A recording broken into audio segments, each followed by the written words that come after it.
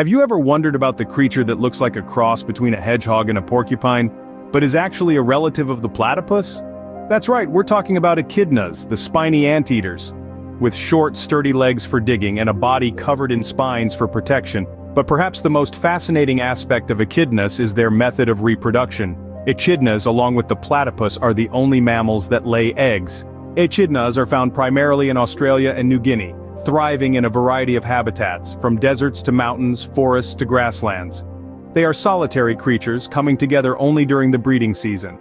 Despite their slow pace, echidnas are excellent swimmers and climbers using their powerful claws to navigate their environment.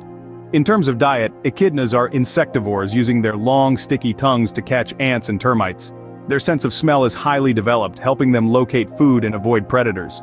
Echidnas are protected by law in many places. However, they face threats from habitat loss, traffic accidents, and predation by dogs and foxes. Conservation efforts are underway to ensure the survival of these unique creatures.